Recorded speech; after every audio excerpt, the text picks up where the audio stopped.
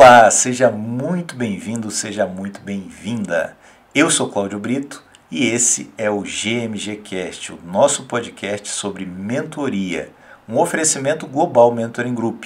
Aqui nós transformamos seu conhecimento em mentorias que impactam vidas e geram resultados extraordinários. Faça parte de um grupo internacional de mentores. Tenho um convidado especial, que é o Oswaldo Matos. O Oswaldo fez com a gente a tripla certificação durante a pandemia, depois fez a mentoria High Ticket e hoje é um mentor especializado no atendimento a empresários né, de pequeno porte, não é isso, Oswaldo? Exatamente, empresários de pequeno porte em suas é, atividades, né? Oswaldo, é um grande prazer recebê-lo aqui. A gente teve um contato aí bem próximo durante a pandemia, né? Trocamos bastante mensagem, bastante experiência aí. E eu queria que você se apresentasse para esse público aqui, que é de profissionais como você, muitas vezes coach, muitas vezes mentores, consultores, palestrantes também, empreendedores, enfim, fique à vontade, porque de repente você, até o seu público você encontra aqui. Bom dia, pessoal. Cláudio, bom dia, muito obrigado pela pelo convite, né? É uma honra. Você sabe que a gente tem você assim como um mestre mesmo na área de mentoria. Eu gosto muito de falar disso sempre que eu faço alguma mentoria, faço divulgação. É, e a divulgação ela tem que ser consistente. Como é uma divulgação consistente? É aquela divulgação que você usou o produto, né? Ah, eu já fiz tal coisa, mas você usou? Não, não usei. Então, como é que você pode endossar se você não usou? Então, você que está nos ouvindo aí, observe um pouco hoje o bate-papo da gente e você vai é, ter, vamos dizer assim, inputs assim, importantes para você decidir a fazer um curso da Global.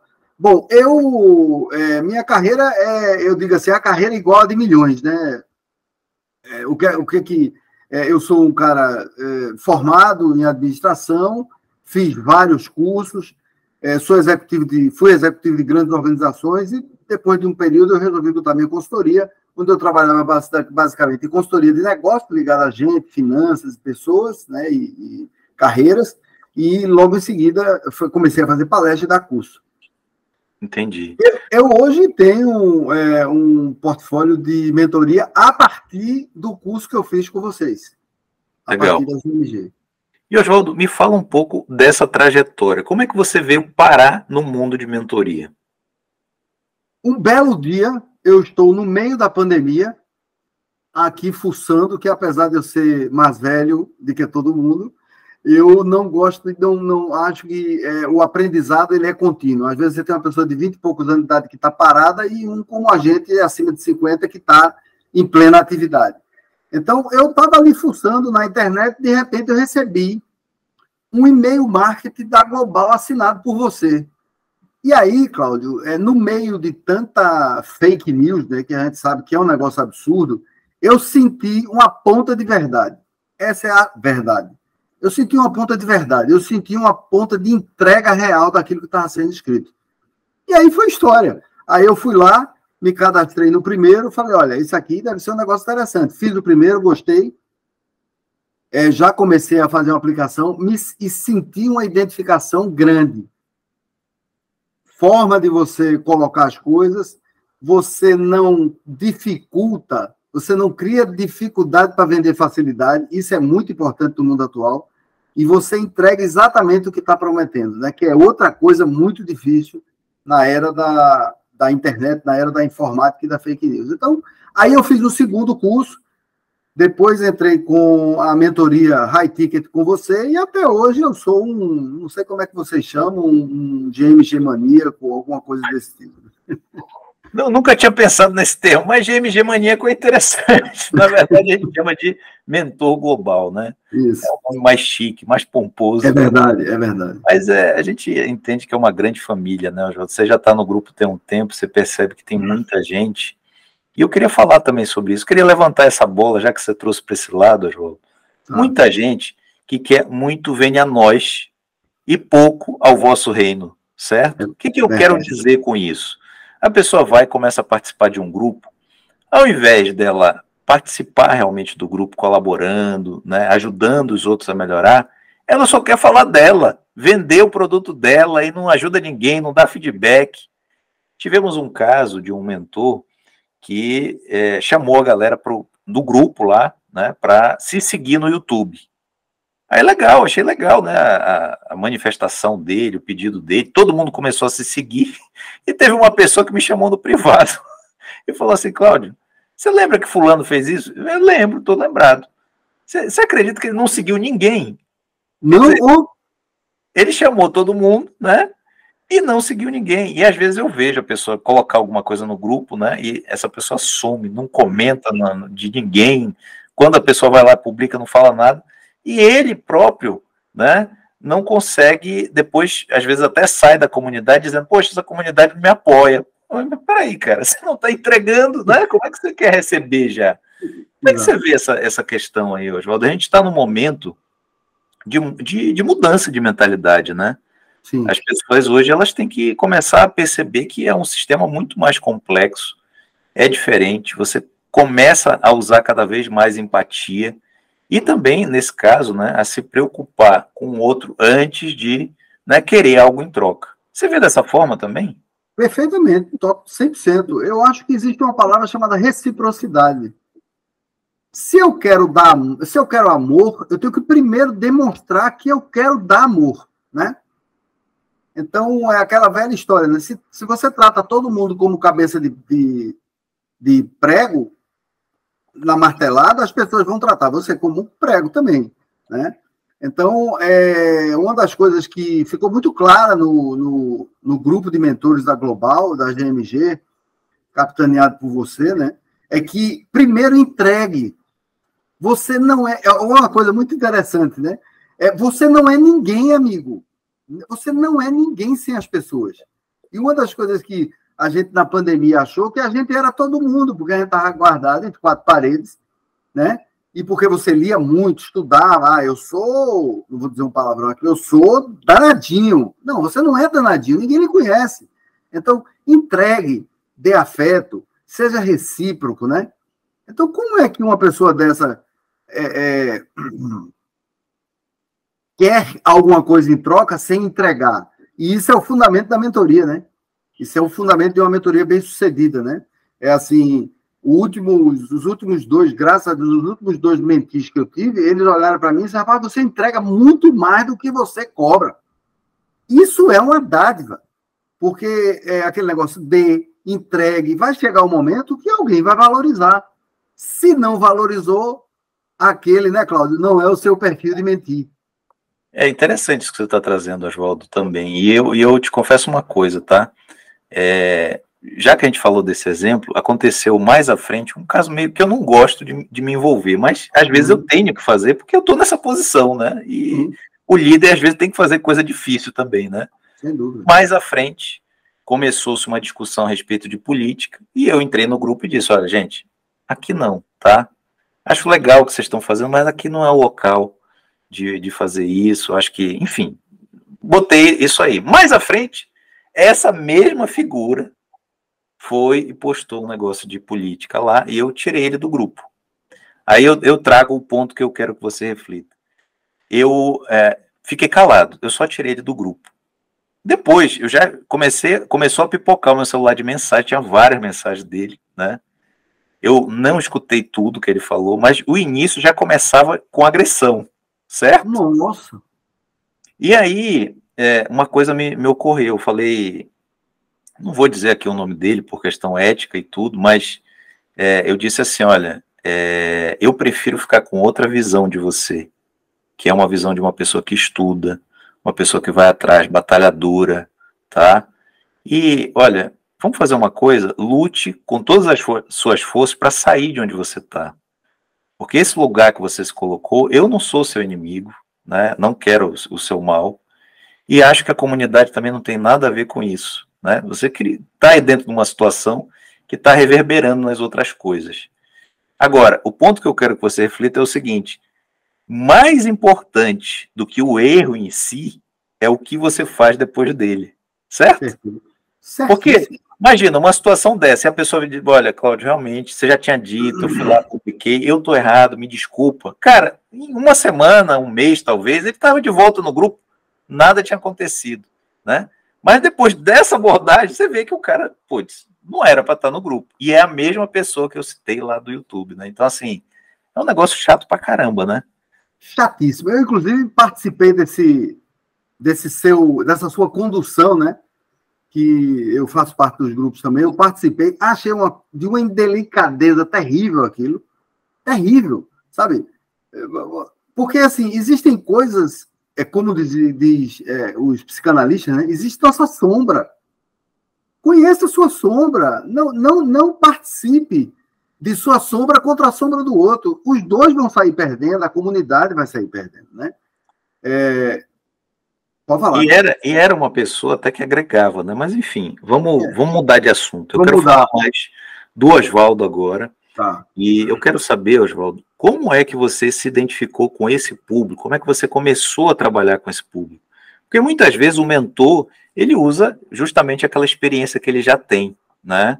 É, então, quando eu enveredei para trabalhar com marketing digital, é, justamente porque eu via que muitos mentores passados pela formação eles tinham essa dificuldade, dificuldade que eu enfrentei. Então, para uhum. mim, né, aplicar isso na mentoria é realmente rever muito daqueles passos que eu dei lá atrás, com dificuldade, né, sem entender direito o que eu estava fazendo, e entregar também muito desse é, é, caminho das pedras, né?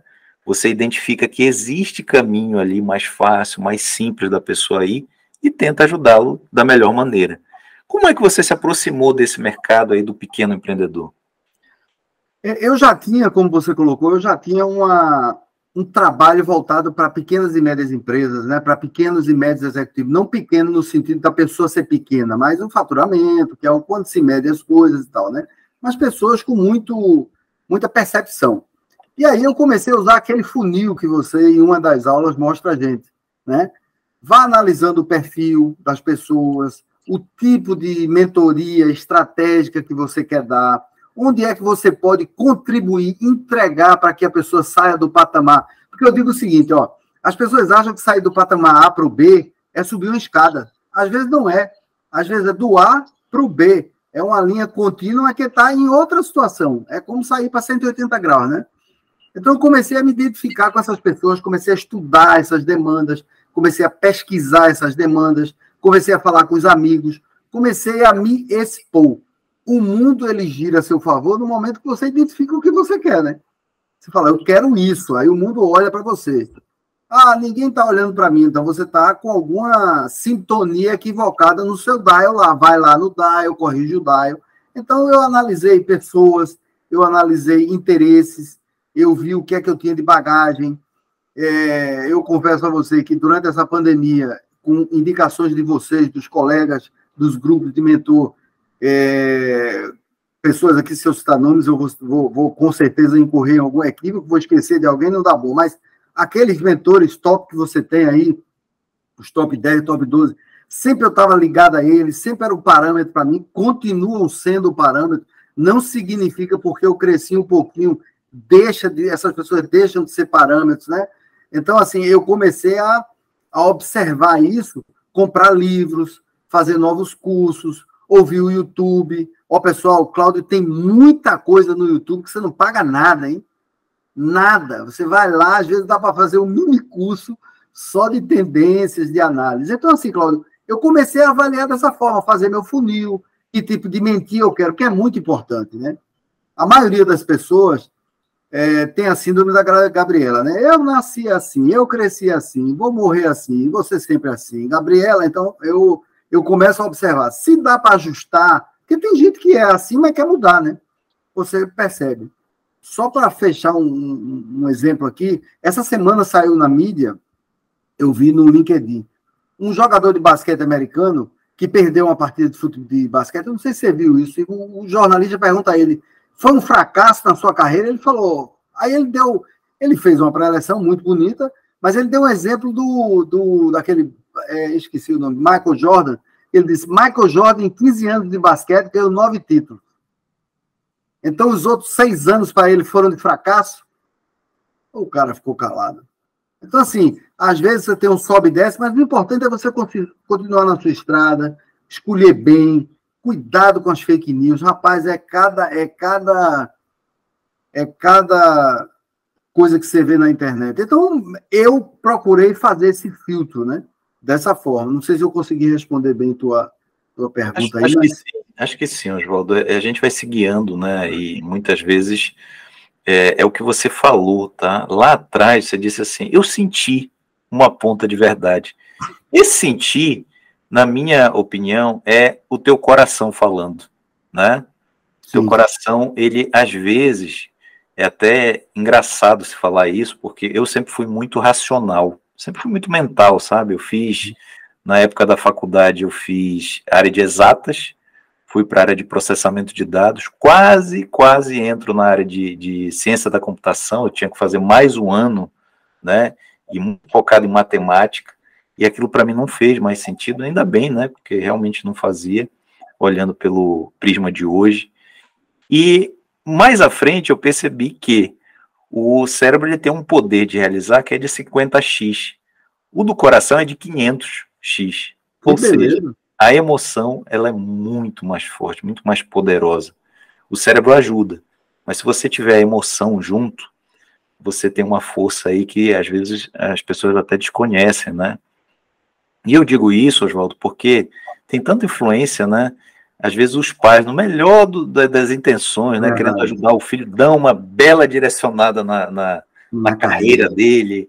Às vezes a igreja, né, que, enfim, a gente sabe que passou por tanta coisa também, também direciona. Então, assim, você tá limpo de espírito, de se ouvir, ouvir o teu coração, é algo muito difícil. Como é que você faz, Oswaldo, para ter essa, essa visão assim? Olha, eu senti que era por aqui. Como é que você começou a aflorar isso aí? É, eu, assim, o meu percurso foi, assim, para mim, meio intrigante e interessante, né? Eu é, também venho de uma família dessa forma, não diferente, é, muito conduzida, muito o importante é a inteligência racional, né? principalmente da década que eu fui criado, na década de 60, né? Era uma pressão política, uma pressão de todo tipo. Mas, assim, o importante é você não ouvir vozes extra você. A primeira coisa, fulano, você é inteligente nisso, você faz aquilo, você é isso, você é isso, é isso. Primeiro, para de ouvir o que está fora.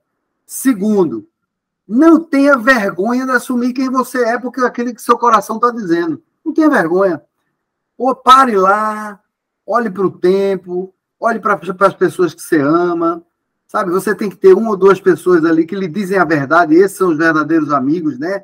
Fala assim, cara, tá tudo errado, tu tá ouvindo o ar, tu tá ouvindo ego, tu tá ouvindo passado, tu tá ouvindo, sabe, umas vozes aí esquisitas. Sai disso. Então, eu procurei sair disso, me concentrar. E uma coisa importante, na hora que você concentra nesse coração, Cláudio, você ouve a voz do teu do teu objetivo. Você ouve a voz da tua do teu princípio, dizendo assim: isso aqui você faz bem. É aqui onde você vai conseguir ajudar as pessoas, porque vem de dentro para fora, né? que se a gente não tiver tesão, nem um picolé direito a gente consegue tomar, nem um suco a gente consegue tomar. E esse tesão, ele vem da alma, ele vem do coração, né? Então, assim, eu comecei a ouvir essa parte dizendo assim, olha, teu propósito não é consertar empresas, não é ajudar empresas. Teu propósito é ajudar pessoas. As pessoas, que está se usando muito hoje em dia essa frase, as pessoas vão consertar as empresas ou as relações humanas, né? Então, assim, foi um negócio que veio, eu, eu comecei a, parar as arestas do externo, e aí me ouvi profundamente que aquela decisão é aquele locus interno, né, Cláudio, que você fala muito. Aquela decisão, ela é sua. Você não vai conseguir otorgar para ninguém, não. E, e, e seja real. Bateu ali, aquilo é a verdade. Aquilo é o fato. Que legal, Oswaldo. Muito bom que você falou. Eu queria até ter um podcast só para falar sobre isso, mas é, comigo foi, foi uma, uma situação parecida também. Eu lembro que em 2007 foi onde caiu a ficha principal, né? Eu fiz Empretec na época. Eu não conseguia escolher um prato de comida se eu chegasse num restaurante, pensando no que que os outros iam dizer, né? Imagina. E dentro do Empretec caiu essa ficha. Eu lembro que eu saí do Empretec, eu me separei, eu, tinha, eu era casado na época, separei, e tinha um sócio, na época também separei do sócio, fiz assim uma queima total, né? E seis meses depois desse acontecido brutal aí, eu conheci minha atual esposa e é incrível, as coisas foram acontecendo no, como nunca antes, foram dando tudo certo, né? Então a gente está junto até hoje e essa voz ela só vem aumentando, essa voz que você citou, né, que vem da alma aí, ela só vem aumentando.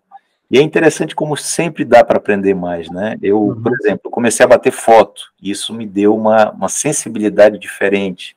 Outro dia, eu saio para caminhar e começo a, essa época aqui tá brotando todas as flores, né? E eu começo uhum. a ver as flores. Tinha flor amarela, tinha flor branca, tinha uma flor meio roxinha, é, uma outra laranja. Aí levei a minha filha comigo e a gente foi caminhando. E ela olhou e falou: Olha, papai, tem flor azul também. Eu, azul? Como assim? Aí eu fui olhar e a roxa, junto com a roxa, nascia também uma flor azul. Uhum. E eu fiquei percebendo, cara, olha o detalhe né, que uma criança consegue perceber rapidamente, e eu passei batido, e eu ando quase que todo dia pelo mesmo caminho, pelos mesmos locais, né, pelo, uhum. por onde tem as flores. Ela foi uma vez e já viu coisa que eu Então, essa sensibilidade aí, eu acho que hoje é uma coisa que faz toda a diferença, sabe, Oswaldo? Quisera eu ter a, a possibilidade de mostrar isso mais vezes para as pessoas. Então, como você trouxe, eu estou enfatizando bastante aqui, porque eu acho que isso vai ser desse momento que a gente está vivendo, sabe? Vai ser uma coisa que já não é mais só racional. O racional importa, né? A gente precisa de um bom planejamento, até para a gente executar, até para a gente ter um controle maior da ação que está sendo tomada. Mas se não tiver o antes, né, esse sentimento que vai mobilizar tudo, dificilmente você vai fazer grande coisa, né? É, então, assim, eu já passei por tantos momentos em que eu tinha tudo para crescer, para explodir, mas faltava esse sentimento, né? Que a coisa não, não andou. Como é que você está vendo isso nos teus mentis, Oswaldo? É, eu, eu procuro, Cláudio, passar isso para eles, né? É, e dizer o seguinte: eu tenho menti aí hoje de diversas, diversas oportunidades, diversas metas de cada um, né? Diversos perfis. Eu digo, é, sinta o que o seu coração está dizendo. Eu tive uma mentia agora, finalizou agora o contrato com ela, e que nós entramos, Claudio, da forma A, com um tipo de empresa, com um foco. Ao final, ela já tinha criado uma nova empresa, tirado o nome, mudado o nome mais ajustado ao que ela queria, e, como você disse, decolou. É engraçado que quando a gente acerta na veia, como diz, né? As coisas começam a andar por um caminho que você fala, pô, o negócio tá indo, tá indo, de repente vai, vai, você e você chega e vai, vai, você dá até medo de dizer, peraí, deixa eu me organizar. Não, vai, vai se organizando no caminho. Então, esse, eu percebo muito claramente isso dos mentis, né? A gente passa isso de uma forma e a pessoa diz assim, não, mas isso aqui é o que dá mais dinheiro. Eu digo, olha, tudo dá dinheiro e tudo não dá dinheiro. Depende qual é o valor que você vai dar a esse dinheiro, que é um produto. E se vier do fundo do coração, naturalmente as coisas acontecem. Eu concordo 100% contigo. Olha, eu, pelo Empretec, né, eu andei muito pelos interiores do Brasil, diversos estados, mas principalmente ali na Amazônia, no Pará principalmente, né, e é, eu vi uma realidade bem interessante, assim, às vezes eu até me empolgava com alguns negócios, alguns modelos que eram apresentados dentro do Empretec, e aí, é, muitas vezes, né, eu tinha um, um consultor do meu lado que tinha muito mais experiência que eu, tipo, eu tinha 10 anos ali dentro de, com experiência dentro de sala, ele tinha 30, só para começar. E às vezes eu, eu, eu, puxava algum assunto que a gente ia almoçar, né? A gente é, ia jantar junto, tinha troca de feedback e tudo. E eu trazia para ele falava assim: olha que interessante, né? Esse negócio, isso, isso e aquilo. Olha, o cara pode ganhar dinheiro aqui, pode ganhar da, daquele jeito, tal. Ele olhava para mim e falava assim: Cláudio, todo negócio tem a sua encrenca. É, boa, é verdade, é excelente. E aí eu ficava naquela viagem, né, que era, putz, era o melhor dos mundos, e se você for ver, todo negócio tem a sua encrenca, não tem esse negócio de dizer, olha, agora é a bola da vez. E eu vejo muito, né, Oswaldo? Você deve ter visto aí também em Salvador muito disso, aquela moda, né? Isso. Abre um salão. E aí todo mundo copia. Olha, vamos fazer salão que agora é a bomba. Ah, abre um sushi. Sushi começa a dar bom. Vamos fazer tudo sushi. Aí fica uma coisa, um copiando o outro, e não sai uma coisa inovadora, diferente. Como é que você vê essa questão de modismo também? A ah, modismo é um perigo. Perigo, eu acho. É, porque as pessoas e inclusive só um parênteses, cabe a nós, mentores, né, é, mostrar o que é aquele modismo, porque o cara vai navegar numa onda ali, aqui teve uma onda, você falou de sushi, aqui teve uma onda de sushi de açaí, que parecia que o mundo ia acabar e ia ficar só uma casa de sushi e uma casa de açaí, né? Então, é, a gente tem que tomar muito cuidado, a gente tem que alertar em, nos podcasts, nos vídeos, a gente diz, olha, cuidado, cuidado, um mentor, ele precisa ter isso, cuidado com o modismo A, B ou C. É, é interessante que as pessoas, por não se preocuparem em conhecer, navegam em qualquer onda. Navegam em qualquer onda, botam dinheiro em qualquer meia dúzia de conversa. Às vezes eu vejo ah, Cláudio, eu entro em curso aqui só para saber o que, é que o outro está dizendo. Eu pago para entender. Quando eu termino, eu digo, meu Deus do céu, como é que a pessoa. Como é que, como é que consegue enganar desse jeito, né? Então, eu acho que é muito importante a moda do mentir, a moda do mentor, a moda do curso, a moda do conteúdo. Como vá lá, vá lá atrás, Zé das Contas do, do, dos Grude, ele fez o que da vida? Ele melhorou o que na vida? Ele é formado em quê? Qual a experiência dele? Onde é que ele embasa o conhecimento? E quando o cara falar uma frase inteira que você não entender, pare. Veja se é uma questão de adaptação à linguagem sua ou dele. Ouça mais. Então, assim, eu acho que esse, essa experiência que você olha por trás da carreira de quem você quer trabalhar, elimina um bocado de coisa. É natural um médico. Você vai um médico. O cara vai cirurgião de cérebro. O cara é neurocirurgião, tem 23 anos de idade. Desculpa, ele pode ser o gênio Einstein da medicina. Eu não entrego minha cabeça com um cara desse. com todo respeito. Ah, tem as virtuoses. Tem as virtuoses, mas que não é o caso da maioria. Então eu não entrego. Então você está para definir se vai ou não fazer uma cirurgia de coração Óbvio, você vai olhar o handicap da pessoa, você vai olhar a experiência, conhecimento, onde foi formado, que cursos fez, quantos corações ele já operou.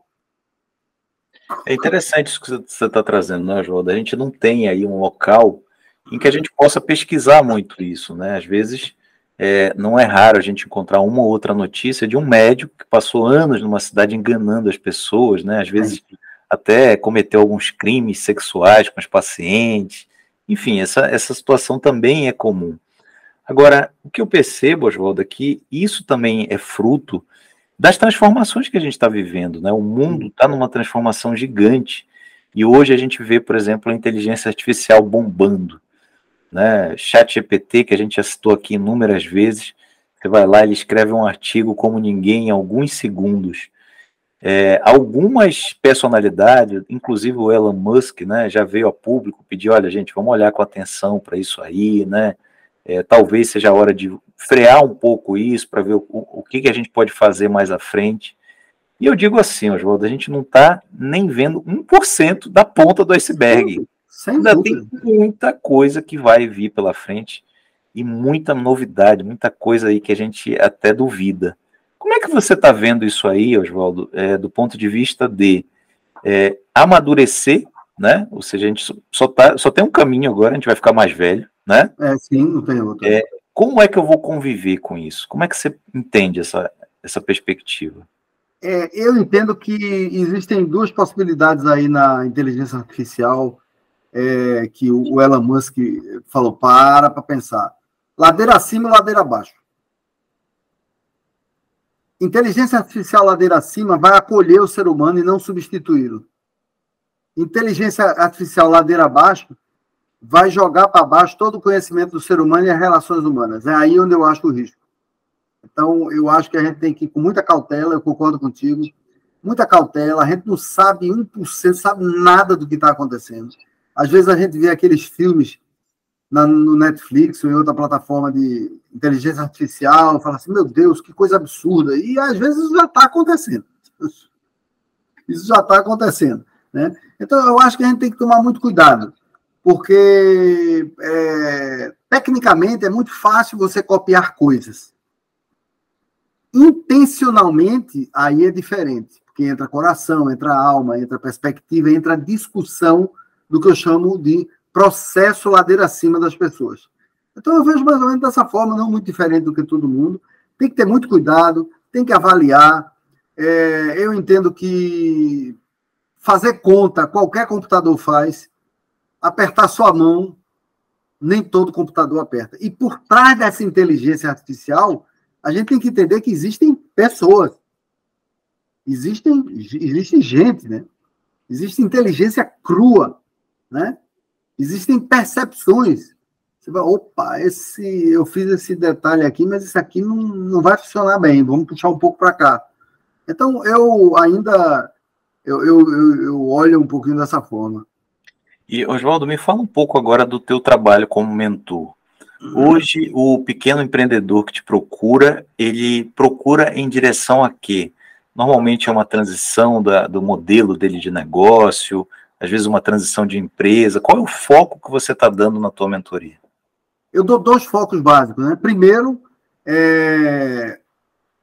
ele precisa entender dentro daquele sistema onde ele está inserido, se está confortável ou não para ele aquilo que ele faz. É... eu digo a você que metade está desconfortável, metade está absolutamente desconfortável é... com essa luta alucinada por por metas só e esquece as pessoas e vai para a meta. Então, metade tá. Metade já disse a mim: se eu pudesse pedir demissão hoje. E o outro foco é organizar as empresas a partir dessas pessoas. Aí, organizar uma área financeira, um olhar para as pessoas, é, um olhar diferenciado nas capacitações, é, um olhar para a área administrativa, um olhar para é, o marketing, né? reposicionar a empresa em algumas situações. Então, é, hoje, as pessoas estão com. Eles, elas querem um novo olhar, mas precisam de caminhos. Precisam descobrir novos caminhos dentro delas, né? Para onde a gente vai, o que é que vai, porque, Cláudio, a insatisfação é grande, viu? A insatisfação é grande. É, eu vejo essa insatisfação justamente por conta desse, desses outros aspectos que a gente já falou, né? Muitas vezes a pessoa foi num caminho que foi totalmente enviesado. Por Isso. exemplo, se eu não acordasse lá atrás, em 2007, pode ser que eu ainda estivesse no caminho torto, né? Sim. Pode ser que eu continuasse, por exemplo, com aquela empresa, né? E tivesse ali, de repente, até crescido, de maneira torta, mas crescido, né? E tivesse ali me colocado numa espécie de prisão, porque eu vejo muito isso também, né? Pessoas que procuram a gente no sentido de, Cláudio, eu estou é, trabalhando para pagar as contas, já não gosto mais do que eu faço, né? Quero fazer uma coisa que me dê mais ânimo de fazer, que eu goste de fazer, mas eu não sei por onde começar. Como é que você atua nesse caso, Oswaldo? Por exemplo, a pessoa está realmente insatisfeita e aí quer um direcionamento. Agora, falando de técnica mesmo, de ferramenta, o que, que você usa para direcionar essa pessoa? É, a primeira coisa que eu pergunto a ela é: você, tá, você quer desinflamar? Você está inflamado, né? Está com uma, uma doença inflamatória. Você quer desinflamar? Quero. Aí você começa a usar. É, eu, eu gosto muito de trabalhar com o DISC, por exemplo, né? Você analisa o perfil, faz um, um, uma retomada do DISC. E ali você tem características no disco que ele, nessa caminhada que ele precisou fazer às vezes, ele não se dá conta de que ele tem inúmeras, habilidades diferentes. Aí você vai começando a pesquisar as habilidades, o que é que a pessoa realmente tem talento de fazer, o que é que dá prazer, né? O que são pessoas normalmente numa faixa de idade já que elas já param para olhar, já chegaram na metade da vida, né? Porque a, o pessoal pensa que metade da vida é 20 anos, não, amigo, metade é 35, 38, ali está na metade, né, 30 e poucos, né? É, então, eu começo a usar essas ferramentas. Eu, o Ikigai, por exemplo, eu uso muito o Ikigai. Né? Eu trabalho com ferramentas como PFOA pessoal. As pessoas trabalham só com PFOA empresarial. Eu, vamos fazer o, o seu PFOA. Para que lado você quer ir? Somado-se a isso, há um bom trabalho com uma parceira que aplica o DISC, que dá uma devolutiva. E a pessoa já começa a olhar para um caminho diferente. É como se abrisse uma janela e não visse mais prédio, prédio, prédio, prédio. Visse sol, árvore, mar, horizontes diferentes, né?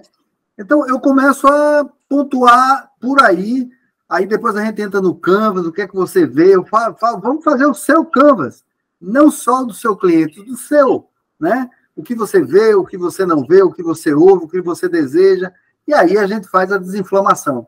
Às vezes, Cláudio, o cara ganha um bom salário na empresa e ele começa a inflamar. O que é que eu chamo de inflamar?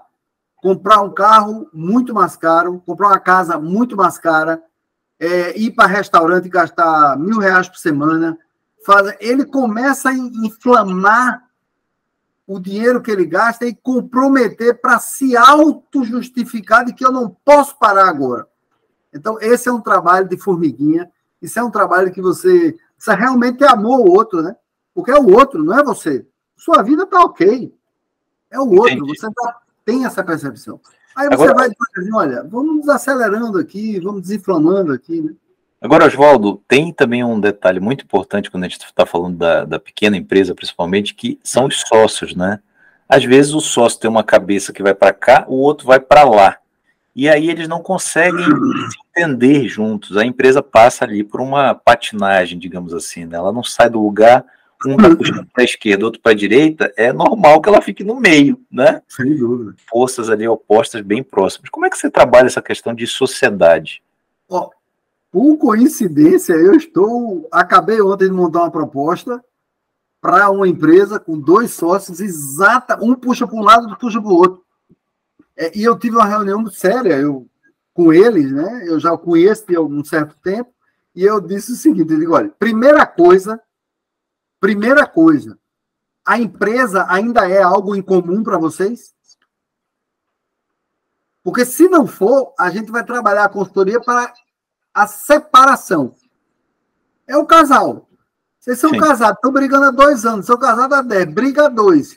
Aí, de repente, chamam um, um, psicólogo e o psicólogo fala: há interesse de continuar junto? Não, não há. Ah, então eu vou conduzir a psicologia para outra forma, né? Então, o primeiro ponto é entender o que cada um quer e fazer eles refletirem. Por quê? É, não significa que você se separou de sua mulher, de seu sócio, você é inimigo dele. Eu já tive outros sócios, me separei, sou amigo até hoje. A gente bebe, conversa, toma vinho, dá parabéns na data das crianças, mas como sócio, eu digo sempre, eu jamais seria sócio de meus irmãos. E amo incondicionalmente os dois, mas jamais. E eles também, eu acho que não seriam meus sócios. Então, o primeiro ponto é: há algo em comum? Segundo ponto, antes de entrar numa consultoria ou numa mentoria dessa, identifique o problema do sócio A, do sócio B e do sócio C. Às vezes o cara, como você falou, o cara, o sócio A está no momento P, o sócio B está no momento J, e o sócio C está de camarote dizendo que sobrar para mim tá bom. Eu tenho 20% aqui, se for para um lado, eu estou bem, se for para Então, assim, a gente tem que identificar isso. E eu digo o seguinte: é, você tem que ser muito honesto com o seu cliente com muita afetividade, com muito acolhimento. Falar, vocês são um casal maravilhoso, mas vão se dar muito bem separados do que juntos, né? Então eu começo a conduzir por aí e pontuo claramente. Primeira pergunta que eu faço: vocês têm alguma coisa em comum em relação à empresa? Não, eu acho que a empresa deve se tornar uma factory. Aí o outro, não, eu acho que a empresa não deve se tornar uma factory, deve vender produto. O outro, eu, aí começa. Pronto. Quando há uma dicotomia muito forte em relação a esses objetivos, é sentar para conversar. E às vezes o melhor caminho é separar mesmo. Né? É interessante isso, né, João? Eu, eu vejo que a administração ainda do pequeno negócio, ela ainda está longe de ser profissional, né? Eu andei bastante lá pelos Estados Unidos e eu vejo que tem uma abordagem diferente no sentido de captar recursos já é o, o, primeiro mote, né, digamos assim. Uhum. Geralmente o americano ele não investe o dinheiro dele, ele vai atrás de um investidor. É, outro ponto importante é justamente essa hierarquia, né? Então, uhum. quer dizer, eu tenho sócio, mas eu sou o CEO. Então, a decisão vai ser final minha. Perfeito. Se der merda, né? Eu vou usar um palavrão aqui, Sim. deu problema, mais à frente a gente revê essa posição e de repente o outro sócio assume, né? E vai andar aquilo ali. Então, eu, eu acho que está faltando ali uma profissionalização, talvez uma visão diferente do que ficar duas pessoas, né, ali discutindo. E eu já tive sócio. Hoje, aliás, sempre, né? Eu preferia trabalhar só. Tive sócio por conta de conveniência, por exemplo, eu tive um sócio uma vez que era a parte comercial. Uhum. Já, fiz, já fui sócio de outras empresas, entrando ali pela parte é, financeira, sendo um investidor e controlando isso pela parte financeira. Hoje eu prefiro andar só, sabe? Porque eu já sei o, a minha velocidade, eu já entendo que nem todo mundo vai remar da mesma, da mesma, com a mesma força. É, outro dia eu me encantei com o trabalho de uns jovens, né? E a gente começou a conversar e etc e tal. Eu trouxe ele para um projeto meu. E a ideia era até trazer esse cara como sócio. Uhum. Uma semana já deu para ver que não ia dar certo ia. nunca, né?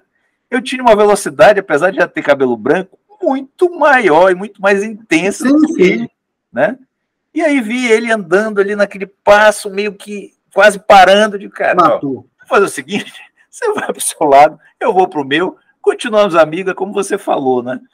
É, você acha também, Jota, que falta assim uma, uma profissionalização ou isso acaba sendo um papel externo mesmo? Quer dizendo, a gente, como consultor, como mentor, né, é, vai orientar esses, esses empreendedores, porque a gente sabe que a educação, apesar do mundo já ter mudado, continua uma educação bancária, né?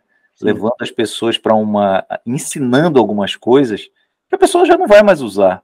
Até hoje se usa tabela periódica. Quantas vezes você usou tabela periódica? Nunca, né? nunca. É, minha, minha afilhada aqui está ah, estudando seno e cosseno. Cara, eu fiz computação e não usava seno e cosseno. Imagina. Então, assim, é, ainda tem muita eh, coisa que é ensinada na escola que está longe de ser usada, né? Longe de ser aplicável. Como é que você enxerga isso, Oswaldo? Qual é o papel, de fato, desse empreendedor e de nós aí, mentores, consultores, enfim? Primeiro papel é alerta, Cláudio. É o alerta. É isso que você acabou de fazer aí. É o alerta. Sabe? É você conversar com a pessoa e entender o seguinte: primeiro ponto, aí, aí eu vou ser bem, como é que chama em computação? É 1 e 0, né? 0 e 1. Olha para a pessoa e fala assim: essa pessoa é amadora ou profissional? Ela é amadora. Aonde ela é amadora? Aonde ela é profissional? Aí eu vou só dar uma, um parênteses aqui: é, a maioria é amadora. As pessoas não entendem o que é ser amador. Amador não é responder a papai e mamãe. Amador é, o profissional é é se comprometeu, entregue. Se responsabilizou, faça. Marcou, vá. Não pode, avise. Foi solicitado a entrega, entregue. E isso não tem nada a ver com idade, como você falou. Eu, sinceramente, eu hoje, é, assim, você seria sócio de alguém? Óbvio que seria sócio de alguém. O mundo é aberto. Porém, tem que estar muito claro o grau de amadorismo e de profissionalismo de cada um, porque a gente sempre tem uma, uma reguinha ali, né? De amadorismo e profissionalismo. E outra coisa, eu digo, meu amigo, não fique esperando que mamãe vai botar café com leite para você, não. O mundo quer tirar o seu café com leite. O mundo quer. O volume de concorrência é absurda. Se você concorrer, e você sabe muito bem disso, se você concorrer com profissionais, com, com amadores já está difícil, mas ainda com profissionais. Né? É, é, aquela, aquele segundo a mais na volta de corrida que às vezes vale uma eternidade, como dizia a Senna. Então, eu entendo que você tem que. Qual o papel identificar? E, e assim, olha, Cláudio, é assim, a gente, como a gente vai ficando cabelo branco, eu já estou quase careca, a gente olha, a gente sai, eu hoje, assim, de forma extremamente humilde. Eu digo a você, no arriar das malas, eu já sei para onde o cidadão quer ir. É, você, você, você, com a sua experiência, quando você dá uma turma, você bota 20 lá, pretensos futuros mentores, quando você bota aqui, um fala A, outro B, C, você fala, aham, 30% é isso, 40% é isso, 20% é isso, eu vou trabalhar para 10%. É assim que funciona, né? A gente tem experiência em sala de aula, sabe? Então, eu acho que é muito importante essa percepção do mentor. E olha, não se enganem, não se engana. Dá para transformar o cara no profissional, segue tua vida, é aquele perfil de mentir que você quer, de empresa, vai. Não deu, amigo, sai de banda, deixa para alguém que vai fazer isso, às vezes mais competente do que você. Então eu enxergo mais ou menos é, é por aí, Cláudio. Esse é o papel que eu vejo da gente. Beleza, Oswaldo. A gente já está aqui chegando ao nosso tempo limite. Eu queria que você desse uma, uma, uma orientação aí de algum ponto que você tenha de reflexão para quem está ouvindo a gente e quer entrar nesse mundo da mentoria, né? O que, que aí você já viu que é importante que a pessoa faça, né? Como é que você acha que um profissional que está iniciando hoje esse caminho deve prosseguir? É, primeiro lugar, eu diria o seguinte: acredite na sua capacidade de mudança. Acredite. Ah, eu, eu é, sou capaz, não sou. Não, acredite. Você é capaz de mudar. Enquanto você estiver vivo, respirando, você é capaz de mudar. Segundo, vá atrás de empresas e de mentores e de pessoas que você tenha referência da qualidade da entrega da pessoa provado por outras pessoas. Eu me sinto absolutamente tranquilo em vir aqui e falar, faça um curso da GMG com Cláudio, ponto. Senão eu não estaria dizendo. Né? Em terceiro lugar, aplique, faça, comece, inicie, seja você, não tenha vergonha, porque as pessoas só jogam pedra nas outras quando elas estão subindo. Ninguém joga pedra quando ela está descendo. Existe um, um, uma frase que eu vi de Leandro Carnal uma vez aí, numa palestra desse, ele diz o seguinte: vocês já perceberam que todo mundo que fracassa aglomera gente que fracassa, porque vai dizer, ó, oh, coitadinho, oh, está corroborando com o seu fracasso, acolhendo o fracasso do outro. Não, saia dessa. Quando começar a falar desse fracasso, não vou fazer, não vou fazer, não consigo, ah, saia fora. Porque eu digo assim, o departamento de desculpa, o DD, é muito grande. Eu não fiz porque não tive dinheiro, eu não fiz porque não tive tempo, eu não fiz porque não tive isso, eu não fiz, eu não fiz porque minha empresa não eu não fiz porque não. É... Pô, o departamento de. Quando você abre a caixa do departamento de desculpa, ela é infinitamente superior ao departamento da vontade. Vá lá no seu coração fala, eu, deixa eu tentar aqui esticar um pouquinho o meu conhecimento, ler mais um livro, fazer alguma coisa boa para alguém. Deixa eu testar essa metodologia da GMG, na hora que você testa que o retorno você, opa, vamos lá. Testou, deu errado, Cláudio, é, foi o que eu fiz. É, eu tô, posso dar a minha experiência, né? Ó, isso aqui não está dando certo. E você algumas vezes falou, já tentou isso, já olhou por esse ângulo, sabe? E às vezes é hora de dizer assim, essa metodologia eu vou usar só essa parte, não vou usar essa parte, porque o mercado ele é muito diverso. É, é isso aí, Oswaldo. Gostei. É, eu, eu recebo sempre, né? Isso que você falou é uma verdade. Assim, eu sempre estou em contato com meus mentores é, e sempre é uma oportunidade de aprender, né? Por exemplo, aqui com você eu estou aprendendo. Eu vou dar um treinamento, eu estou aprendendo. Eu vou dar uma mentoria, eu estou aprendendo. Isso aí eu acho que é, é eu, eu gostaria de deixar como uma mensagem principal, porque é assim que você vai crescer, né? Você se interessando mas não é aquele interesse comum, né, que todo mundo tem. Sim. É interesse genuíno pelo que o outro está passando. Quando você tem isso, certamente você aprende mais, você escuta mais e você consegue, com isso, utilizar o que você aprendeu para aplicar no teu trabalho. Então, uma das coisas que eu sempre fiz aqui na GMG, espero continuar fazendo, é exatamente o que você fez, né? Acolher e saber que a gente também não é dono da verdade, né, Oswaldo? Não. Muitas vezes a gente vai errar, vai dizer uma coisa que para alguém não vai fazer sentido, e o que a gente tem que fazer é ter humildade para ouvir, corrigir, seguir em frente. Se a gente fizer isso, acho que a gente já está indo num caminho muito bom. Agora sim, Oswaldo, para quem ouviu a gente, quer seguir, quer saber mais do Oswaldo, qual é o melhor caminho? O melhor caminho é acessar lá, arroba Oswaldo Lamatos, que é o meu Instagram, e no meu LinkedIn, Oswaldo Matos, né? Quando vê esses óculos assim, você já sabe que sou eu. E no YouTube, né? Que tem um bocado de live lá, tem um bocado de coisa, provavelmente essa no futuro vai estar lá. Então é isso. E é, manda e-mail, lá tem meu zap. É, eu sou uma pessoa absolutamente, como você disse, eu sou aberto ao crescimento. Então, manda para mim, cara. A gente vai trocando ideia e tal. E se você um dia me der a honra, eu estarei sendo seu, seu mentir aí no futuro, né? Oswaldo, muito obrigado aí pela tua entrevista, tá? Pelo teu tempo. Quero te agradecer de coração por tudo que você falou a respeito da GMG. Esperamos realmente, é, de alguma forma, ter né, ajudado você aí nessa estrada. E saiba que você também contribui. Sempre que você procura a gente, traz alguma questão, algum ponto, é, fique à vontade para fazer tá bem? Desejo sucesso aí na caminhada. Saiba que você tem um amigo do lado daqui e sempre que vier por aqui por Portugal, estamos à disposição para recebê-lo e no mínimo tomar um café, tá bom? Cláudio, muito obrigado, obrigado a todos os ouvintes, o pessoal, a família GMG. É, me sinto muito honrado e tenho certeza que em breve eu estou dentro desse grupo aí. Não está longe, não, já está pertinho, viu? Eu estou junto com vocês aí. Um Valeu. abraço forte, muito obrigado, muito obrigado. Um abraço, até breve. Tchau, tchau.